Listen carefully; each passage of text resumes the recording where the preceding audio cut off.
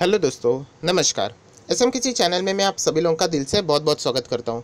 दोस्तों, इस वीडियो में हम लोग बात करने वाले कल के दिन हम लोग को बाज़ार में बहुत बड़ी हलचलें देखने को मिल सकती है, बहुत बड़ी गड़बड़ भी देखने को मिल सकती है। ऐसे बहुत सारी खबरें हैं, जिसका कॉम्बिनेशन कल हम लोग को एक ही दिन पे आते हुए देखने को मिलने वाला है। सो बहुत सारे ऐसे स्टॉक्स हैं जिनके ऊपर आप लोग नज़र रख सकते हो। बहुत सारे ऐसे खबरें हैं जिनके ऊपर आप लोगों ने फोकस रखना चाहिए, जो कि कल बाज़ार के लिए बहुत ज़्यादा इंपॉर्टेंट रहने वाली है। कल आप सभी लोग पता है, आप लोग भी न्यूज़ चैनल फॉलो करते होंगे, देखते होंगे।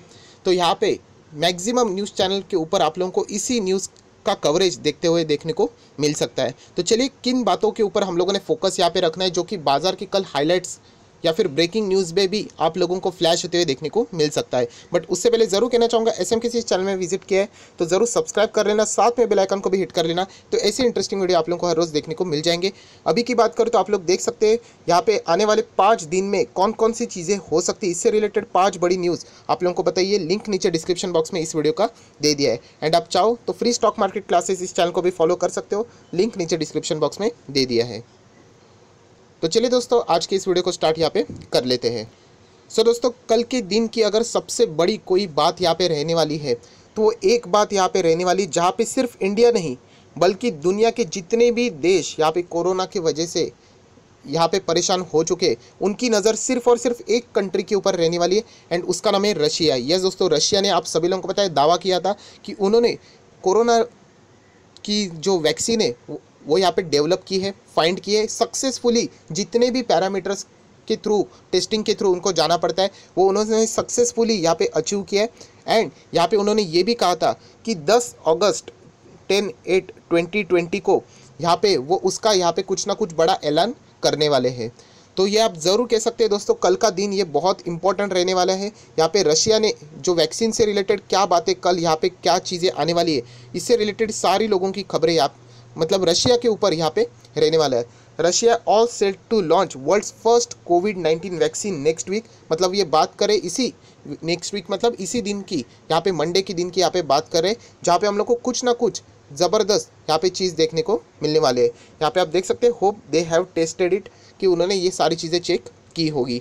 सो so, ये ज़बरदस्त हम लोग को यहाँ पे देखना है। एंड उसी के साथ साथ रशिया ने ये भी कहा है कि वो रजिस्टर्ड करने वाले वर्ल्ड की फ़र्स्ट वैक्सीन यहाँ पे ट्वेल्थ अगस्त को। ये रिपोर्ट से द्वारा ये न्यूज़ सामने आ रही है। सो फ़िलहाल एक्चुअल में रशिया की ओर से हम लोग को कोई भी ये न्यूज़ देखने को नहीं मिल रही। तो ऑफिशियली ये जब न्यूज़ आएगी, शायद से कल यहाँ पे हम लोग को रशिया के ओर से, उनके जो प्राइम मिनिस्टर है, शायद से उनसे भी कुछ ना कुछ बड़ी खबरें सुनते हुए देखने हुए देखने को मिल सकते हैं। एंड कोविड से बढ़कर अभी कौन सी बड़ी न्यूज़ है? उसी से वजह से तो सारा ये खेल चल रहा है कि बाज़ार गिर रहा है, बाज़ार जंप कर रहा है तो डेफिनेटली कल रशिया के ऊपर सभी लोगों की नज़रें रहने वाली है, जो कि उन्होंने बड़ा दावा किया था और उसके लिए उन्होंने तारीख भी बताई थी कि 10 अगस्त को यहाँ पे वो बड़ा ऐलान शायद से कर पाएँगे।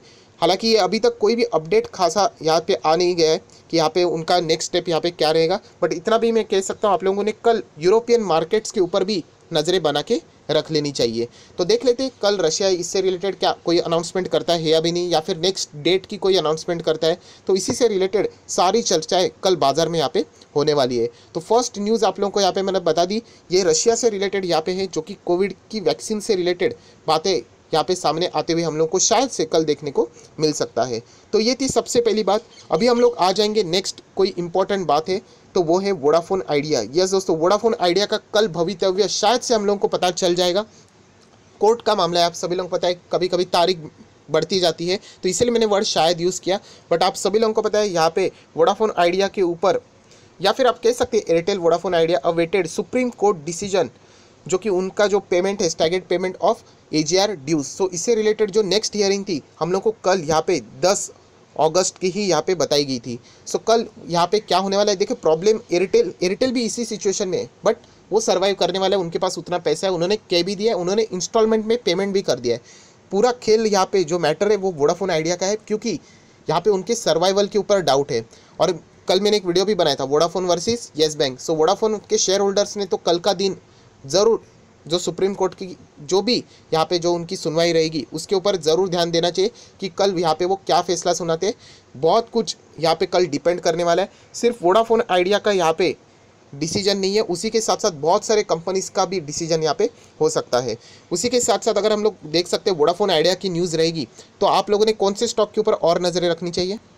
तो वोडाफोन आइडिया के साथ साथ आप लोगों ने नज़र रखनी चाहिए भारतीय एयरटेल के ऊपर एंड रिलायंस इंडस्ट्री के ऊपर। आप सभी लोगों को पता है कि इन कंपनीज़ में तेज़ी कब बन सकती है? अगर वोडाफोन आइडिया के अगेंस्ट में डिसीज़न गया सुप्रीम कोर्ट का तो इन कंपनीज़ में तेज़ी बनती हुई देखने को मिलेगी क्योंकि उनका कॉम्पिटिटर ऑलमोस्ट हम लोगों को ख़त्म होते हुए देखने को मिल सकता है। ख़त्म में वर्ड इसीलिए यूज़ कर रहा हूँ क्योंकि खुद उनके जो सी थे एमडी थे, उन्होंने खुद बताया था कि अगर हम लोगों को पेमेंट करने के लिए अगर मोहलत नहीं मिली तो हमारे पास एक ही ऑप्शन है कि हम लोग को कंपनी बंद करनी पड़ सकती है। पचास हज़ार करोड़ एक टाइम में कहाँ से देंगे? कोई भी दुनिया की इतनी बड़ी कंपनियों इतना पेमेंट नहीं कर सकती, जो कि उन्होंने यहाँ पे कहा है। तो उनका कहना यही था वोडाफोन आइडिया का, कि हम लोगों को पेमेंट दिया जाए मतलब टाइम दिया जाए। पहले दो ऑप्शन थे, कि आइधर पेमेंट को कम किया जाए तो फिर हम लोग पे कर पाएँगे। वो तो सीधा कैंसिल ही कर दिया ओबियसली पेमेंट के ऊपर कोई कटौती नहीं होगी। पेमेंट उतना ही लिया जाएगा, सिर्फ़ अभी टाइमिंग का इशू है। वन टाइम पेमेंट होना चाहिए मतलब जल्द से जल्द होना चाहिए, या फिर इसको 10 साल 12 साल 15 साल 20 25 साल तक इसको डेफर्ड करना चाहिए इंस्टॉलमेंट के फॉर्म में लेना चाहिए। हालाँकि सुप्रीम कोर्ट ने इससे रिलेटेड पहले ही बोल दिया था कि आगे के 15 से 20 साल किसने देखे हैं। सो इससे हम लोग थोड़ा सा अंदाज़ा लगा सकते हैं कि शायद से डिसीज़न वोडाफोन आइडिया के अगेंस्ट भी आ सकता है। बट बहुत कुछ पैरामीटर भी चेक करने होंगे जो कि वो यहाँ पे कोर्ट ज़रूर देख लेगा। सो so, यहाँ पे इन कंपनीज़ के ऊपर आप लोगों ने नज़रें रखनी है। भारतीय एयरटेल रिलायंस इंडस्ट्री अगर वोडाफोन आइडिया में कोई नेगेटिव न्यूज़ आ जाती है, उनके खिलाफ डिसीज़न जाता है तो यहाँ पे रैली देखने को मिल सकती है। एंड अगर कोर्ट यहाँ पे अगर एक्सटेंशन दे देता है, पाँच साल क्या या फिर दस साल का भी तो भी वोडाफोन आइडिया के लिए वो अच्छी बात रहेगी। कुछ तो उनके हाथ में लगा तो इन कंपनीज़ में हम लोग को गिरावट देखने को मिल सकती है। एंड रिलायंस में शायद से गिरावट ज़्यादा होगी, क्योंकि वो ऑलरेडी हायर लेवल पे चल रहा है। मतलब एक रीज़न मिल गया कि चलो, यहाँ पे गिर जाए। हालाँकि उससे कंपनी को एक तबाह नहीं हो जाएगी बट यहाँ पे एक गिरावट के लिए कारण मिल जाएगा। सो so डेफिनेटली कल यहाँ पे हम लोगों ने देखना है कि वोडाफोन आइडिया का जो सुप्रीम कोर्ट का जो यहाँ पे डिसीज़न है A A G R dues से रिलेटेड वो यहाँ पे क्या आता है? तो पूरे बाज़ार का जो फोकस रहेगा, वो वैक्सीन के साथ साथ न्यूज़ के साथ साथ इस खबर के ऊपर भी यहाँ पे रहने वाला है। वोडाफोन आइडिया की बात करते तो जैसे मैंने कहा कि वो सिर्फ़ एक कंपनी नहीं है, बहुत सारे कंपनीज़ के ऊपर भी आप लोगों ने नज़रें रखनी है। जैसे कि I D F C first and उसी के साथ साथ इंडस बैंक वोडाफोन आइडिया को बहुत सारे लोगों ने एक्सपोजर देखे रखा है, पैसा देखे रखा है बट इंडस बैंक का बहुत ज़्यादा पैसा वोडाफोन आइडिया में अटका हुआ है। तो इसीलिए कभी भी कोई भी डिसीज़न सुप्रीम कोर्ट का आएगा, वो वोडाफोन के फेवर में रहेगा तो यहाँ पे भी वोडाफोन में भी रैली आएगी इंडस बैंक में भी रैली आएगी। अगर वो उसके अगेंस्ट जाएगा तो इंडस बैंक भी क्रैश हो जाएगा। वोडाफोन आइडिया तो लोअर सर्किट ही लगना शुरू हो सकता है। उसी के साथ साथ आईडीएफसी फ़र्स्ट के ऊपर भी फोकस रहता है। हालाँकि आईडीएफसी फ़र्स्ट ने ऐसा कभी नहीं बताया कि उन्होंने वोडाफोन आइडिया को पैसा देखे रखा है बट उन्होंने इनडायरेक्टली ये कहा था कि दो क्वार्टर्स पहले कि हम लोगों ने फिफ्टी परसेंट प्रोविजनिंग किए। ऐसे कंपनी से जिसका सर्वाइवल बहुत खतरे में है। हालाँकि उन्होंने कभी डिफ़ॉल्ट तो नहीं किया बट उनका इशारा यहाँ पे वोडाफोन आइडिया की तरफ़ ही हो सकता है। तो Indus bank and IDFC first bank ये भी कल के एजीआर के ड्यूज में हम लोग को इनडायरेक्टली इंपैक्ट होते हुए देखने को मिलने वाले हैं। तो रिटेल निवेशकों को ये चीज़ें पता नहीं होती थी तो उनको समझ में ही नहीं आता था कि ऐसा क्यों हो रहा है। वोडाफोन आइडिया से रिलेटेड कोई डिसीज़न है बट हमारे इन स्टॉक्स में बैंक स्टॉक्स में क्यों प्रॉब्लम हो रही है? तो इसीलिए ये मैंने चैनल खोला था कि आप लोगों को पहले ही पता चल जाए तो इनके ऊपर ज़रूर फोकस यहाँ पे रखना है। तो ये कल के दिन की सेकेंड बड़ी न्यूज़ है, जिसके रिलेटेड बाज़ार में बहुत ज़्यादा कवरेज आप लोगों को लेते हुए देखने को मिल सकता है। उसके बाद यहाँ पे हम लोग बात करेंगे Q I P see yes दोस्तों Q I P qualified institutional placement यहाँ पे हर कोई कैपिटल रेजिंग से रिलेटेड कामकाज कर रहे हैं। एंड आप सभी लोग पता है, दो बड़े क्यू हम लोग को बाज़ार में देखने को मिले हैं। वो है एक एक्सिस बैंक का, आप सभी लोगों को पता है। एंड उसी के साथ साथ एच लिमिटेड का। बहुत ही ज़बरदस्त रिस्पॉन्स भी हम लोग को देखने को मिला है। फ्लोर प्राइस भी देखने को मिला है। बट कल इन दोनों कंपनी के बोर्ड की मीटिंग से एंड यहाँ पे क्यूआईपी से रिलेटेड फाइनल डिसीज़न भी लिया जा सकता है। शायद से प्राइस भी तय हो सकता है क्योंकि डिस्काउंट प्राइस रहता है। सारे कुछ एडजस्टमेंट रहते हैं। तो कल finally Axis bank and HDFC से क्यूआईपी से रिलेटेड जितने भी डाउट्स थे वो हम लोग को क्लियर होते हुए देखने को मिलेंगे। अगर करंट प्राइस से हम लोगों को अगर ये और डिस्काउंट के ऊपर अगर प्राइस डिसाइड हो जाता है तो डेफिनेटली उतना वो एडजस्ट करके शेयर नीचे आता है, आप सभी लोगों को पता है। अगर ऊपर होता है चांसेस जो बहुत ही कम है तो ये सारी चीज़ें हम लोग को देखनी तो वहाँ पे स्टॉक यहाँ पे जंप करके जाते हुए देखने को मिल सकता है। So Axis Bank and HDFC ये दोनों स्टॉक इंडेक्स के स्टॉक्स है। उसी के साथ साथ इंडस इंड बैंक जो अभी पहले मैंने दिखाया वो भी इंडेक्स का स्टॉक है। भारतीय एयरटेल रिलायंस ये दोनों भी स्टॉक्स इंडेक्स के स्टॉक है। तो कल के दिन के लिए बाज़ार में हम लोग को बहुत कुछ यहाँ पे कवरेज देखने को मिलने वाला है, जो कि बाज़ार में हलचल क्रिएट कर सकता है। तो आप लोग देख सकते हैं इन दोनों कंपनी से रिलेटेड क्यूआईपी से रिलेटेड कल बोर्ड मीटिंग है, जो कि हम लोग को फाइनल डिसीज़न लेते हुए देखने को मिल सकता है।